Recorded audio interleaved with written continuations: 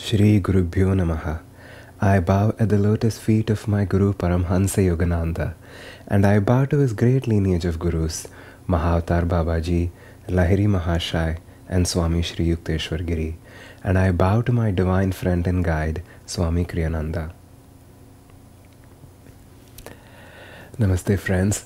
After 15 episodes of the series, we have reached that point for which the entire story of the Mahabharata is known the Battle of Kurukshetra, the clash between good and evil, that uh, battleground where the Pandava brothers and Kaurava brothers met and eventually the entire Kuru race was destroyed in order to re-establish dharma or righteousness.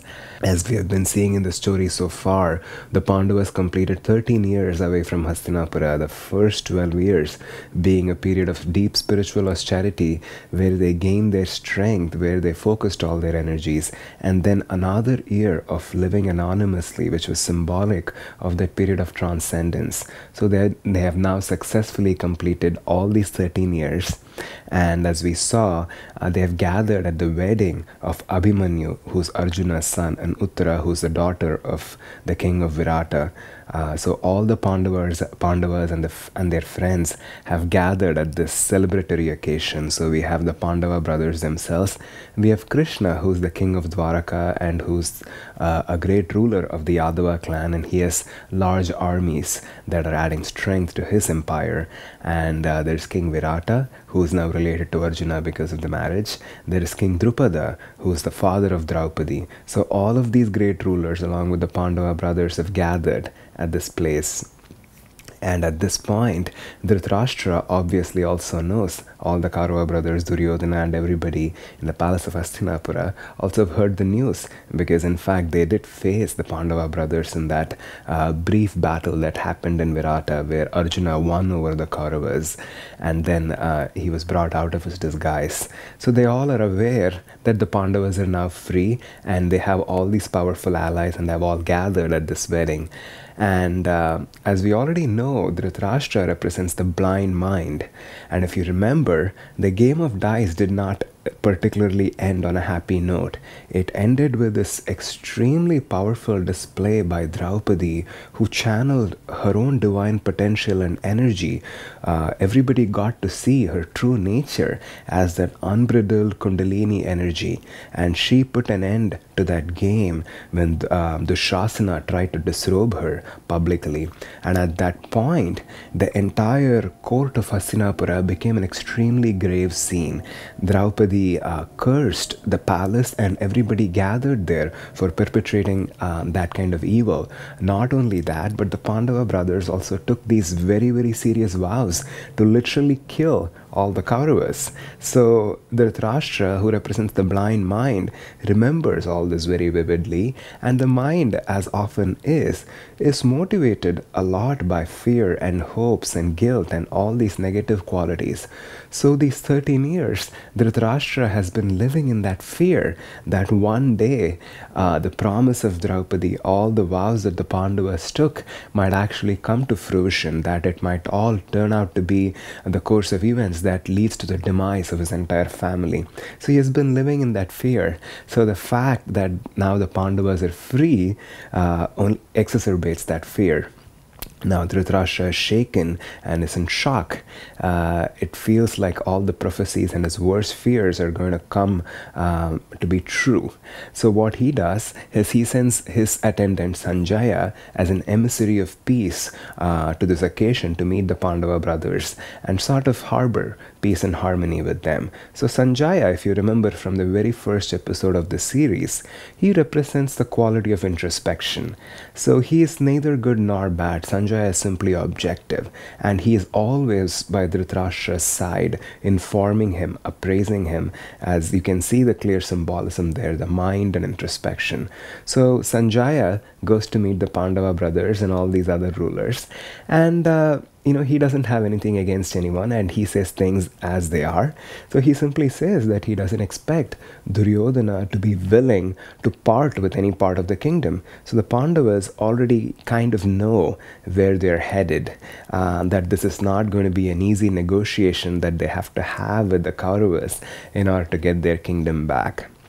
So they also decide that they need to send an emissary of peace to the Kaurava court, to the court of Hastinapura, and uh, negotiate to see what the next steps could be because they're kings, but without a kingdom, they don't have a place to go and they need to establish themselves. So they decide to send an emissary as well, and they choose Krishna to be that emissary. Now, we all know that Krishna has been guiding and protecting the Pandava brothers throughout this entire ordeal. And that's because um, he is, of course, the cousin of the Pandava brothers. But the Pandavas and the Kauravas are also cousins. So, in a way, Krishna is uh, related to everybody involved in this situation. And also, he's an extremely tactful person, very smart. So, the Pandavas realize that if there's any hope for peace, that can only come through Krishna. So, they uh, request Krishna to go to the court of Hastinapura and talk to Dhritarashtra and all the Kaurava brothers to see if there's any hope of peace. And Krishna goes to Hastinapura. Interestingly enough, he does not stay at the palace. He is received and hosted by Vidura even these minor details of the story are instructive to us because Vidura represents dharma or righteousness. So when Krishna visits, uh, that's really where he takes refuge rather than being with the Kaurava brothers. And now he goes to the court of Hastinapura to talk to Dhritarashtra and all the elders there, proposing that uh, the Pandava brothers have had to go through this very difficult period in their life. They were in fact emperors and great rulers who uh, created created this kingdom of Indraprastha, but they have no place to go right now. Uh, the kingdom was unfairly taken from them through deceit in the game of dice. So, after these 13 years of hardship, it is only fair that the kingdom be returned back to them. Now, obviously, Dhritarashtra does not mind that at all because he has been living in this perpetual fear of what might happen if uh, there's a war. So, as much as he does want to agree to this proposal, Duryodhana is completely enraged. He uh, refuses even without consideration. He opposes Krishna's proposal, saying uh, the game of dice was completely fair and square, and the Pandava brothers. Um, you know, gambled through their own volition. There is no reason that he would give them anything that he now considers his own. So he refuses Krishna's proposal vehemently. And everybody in the palace at this point, uh, they can see what is about to come because if that that is Duryodhana's chance, then it is all going to lead to the war. So everybody tried to convince him, uh, not only um, Dhritarashtra and Gandhari, but even all the other elders gathered in that palace. Uh, but Duryodhana is not going to budge at all. In fact, Krishna becomes very flexible. He says the Pandavas cannot come to the palace of Hastinapura after all that happened in the game of dice, and they do need uh, to be independent in their own role as kings. So, uh, in fact, he becomes flexible to not even demand Indraprastha back, but says uh, Duryodhana ought to give them some territory so that they can have control of their own. But at this point, Duryodhana puts his foot down and says, I will not give the Pandavas even an inch of land and not even a needle point of territory. Uh, these are very, very famous lines in the entire epic of Mahabharata where uh, Duryodhana says, I will not give the Pandavas even a needle point of land. Um, and at that point, when he says that, it is very clear that they only have to meet in the battlefield. Now, that very line that Duryodhana says, and this whole story is again illustrative of that principle. It is not that desires cannot be pursued. Uh, in fact, in the Vedic uh, tradition, there are four purusharthas uh, that the human being is born to pursue dharma, artha, kama, and moksha righteousness, prosperity, the fulfillment of one's desires, and ultimate salvation. So, these are four purposes uh, that we are born to pursue. So, desires are not tainted enough of themselves. However, when they are given ultimate control, when the mind surrenders to the desires, when desires take over consciousness, then dharma has no place. At that point, delusion completely takes over and there's no place for spiritual virtue. And that is really what the story is describing to us because when Duryodhana gets his word, when Duryodhana is given control, then there's no way uh, Pandavas can get even a needle point of territory. He's not going to spare because uh, that is the nature of delusion. So, in our own lives, as we work with our desires, uh, it's important for us to understand that desires always have to be subservient to dharma, to virtue, and that is when there's balance possible, even for a time being, because ultimately uh, desires have to be completely vanquished in the battle. But even for even in the light of one incarnation, balance is possible only if we are pursuing or accommodating our desires in accordance to dharma, and that's really what we learn from this story. Now, I have to um, share the story, which, you know, as you can see from the title, uh, it's really one of my favorite stories in the Mahabharata, or perhaps uh, my absolute favorite story in the Indian scriptures. Now, Krishna returned back to Dwaraka. And as we already, as I already mentioned, Krishna is related to both sides, and he is perhaps one of the biggest emperors in the entire land.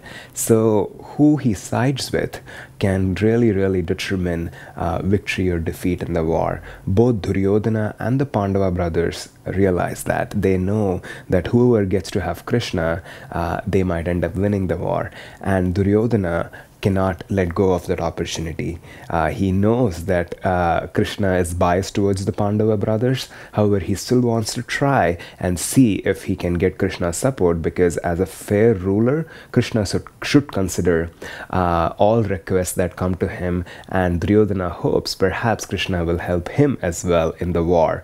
Uh, now, it is, now that it's very clear that the Pandavas and the Kauravas are going to meet in the battlefield.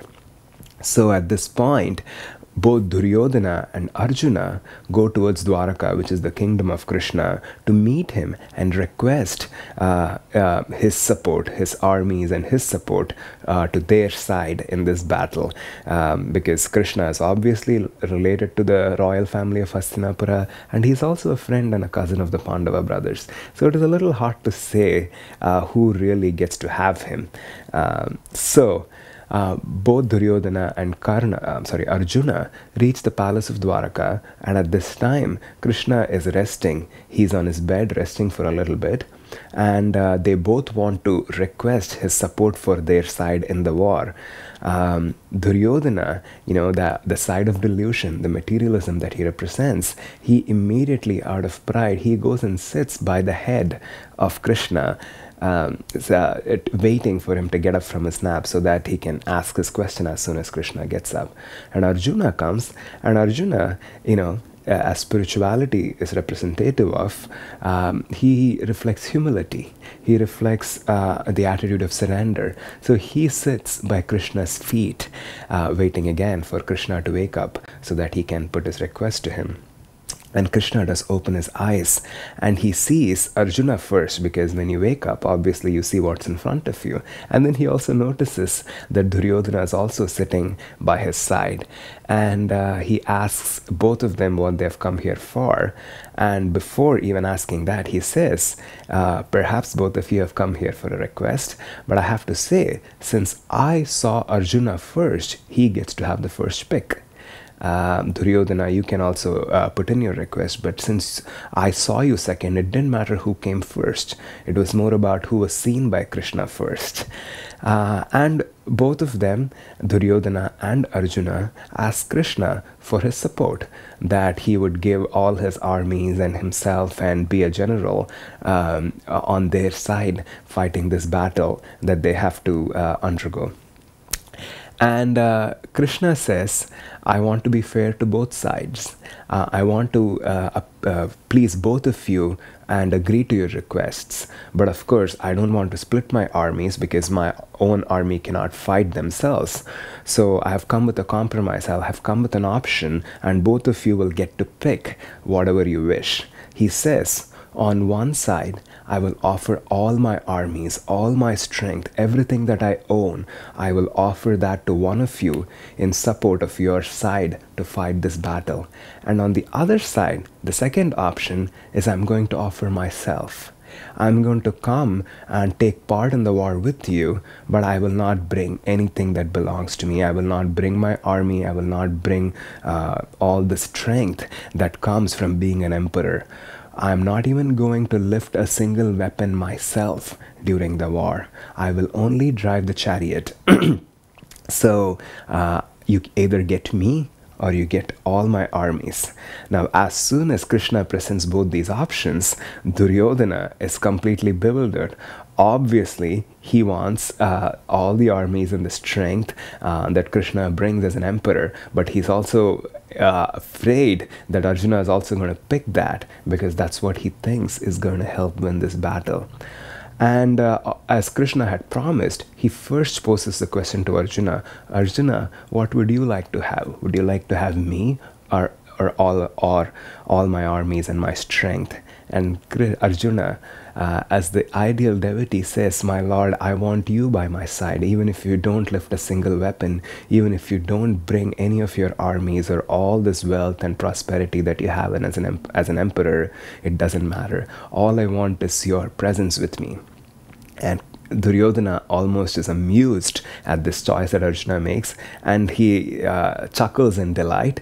He feels that when Arjuna has made this choice, the loss of the Pandava brothers is already uh, confirmed because now Duryodhana will get to have uh, this entire army, uh, the Yadava army that belongs to Krishna, which is going to be the single largest uh, military force that is available in the Battle of Kurukshetra. And obviously, he picks that and he returns back, uh, you know, with this delight and this absolute uh, joy and thrill of having gotten the better part of the deal. But Arjuna knows in fact, it is he who has gotten the better part of the deal. When Krishna asks Arjuna, Arjuna, why did you pick me?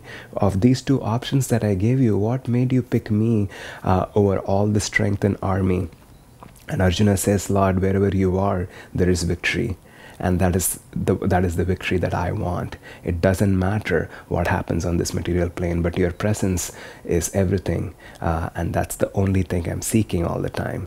And uh, the story is illustrative of so many things. I don't even have to explain it in detail because that choice that Arjuna makes, uh, that really defines the entire story of Mahabharata. It defines the battle of Kurukshetra because at this point, Krishna uh, promises to Arjuna that again, I'm going to join you uh, during the battle of Kurukshetra. I'm going to drive your chariot.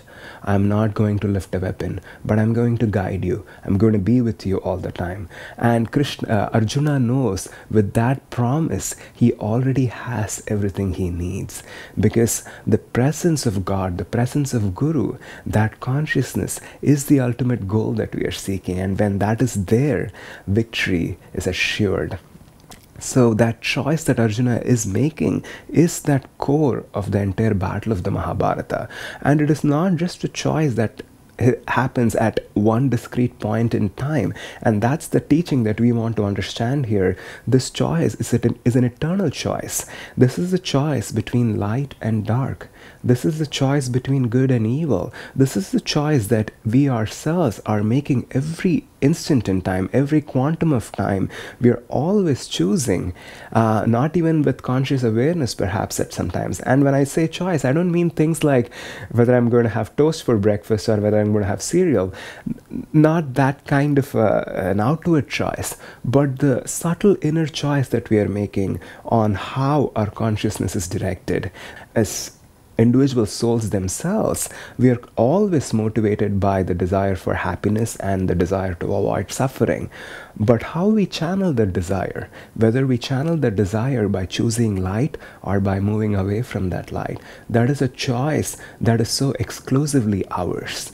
And as humans, we have this objective uh, way of relating to reality. We have a fully functional ego. That's what distinguishes uh, humans from all the other animals is that humans can objectify their own existence.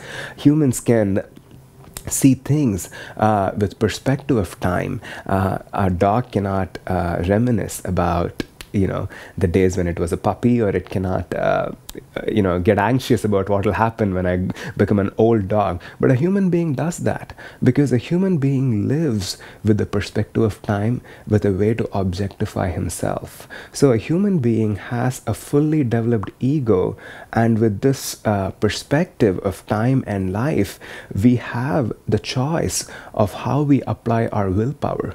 We are not always driven by our instincts. We do have instincts that draw us in all kinds of different directions, but we also have the choice. We have the willpower. That is the very definition of the core of a human being.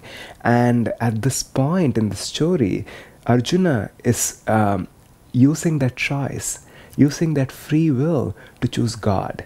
He chooses God over delusion. And that choice defines the entire battle of Mahabharata. And that is the choice we are making every instant of time in our own lives. Sometimes we are more successful than others, but it doesn't matter because every moment we get to practice, we get to remind ourselves of the story of when Krishna of when Arjuna was faced with the choice when one option seemed self evidently better than the other from a material point of view. Somehow, the mind, the logical mind, common sense, and all the ways, all the outcomes that he is uh, committed to, all of that seems so much more easier by choosing the army of Krishna, by choosing his strength, and yet and yet he knows the subtler choice involved here is the choice of consciousness. It is to choose God, it is to choose Guru, it is to choose light. And when he makes that choice right, nothing else matters because everything else falls into place automatically uh, like it says like it says in the bible seek ye first the kingdom of god and all these things shall be added unto you it is that same teaching that we see played out in this story uh, i like to remind myself of this story all the time when the choices we are making uh, do not always make logical sense and we have to tune into our own inner guidance to understand what is the choice here that is going to help me uh, move closer to light. And Arjuna is uh, displaying that to us. Through the story, we see that example lived out. So, hopefully, uh, we can live uh, that in our own lives every moment and make that choice towards the light. In the next episode, uh, we'll uh, go right into the war. We will see how the war begins, and there's going to be 18 days of the battle and a lot of interesting things that happen throughout this time. So, we will examine all those details and the symbolism in the coming episodes. God bless you all.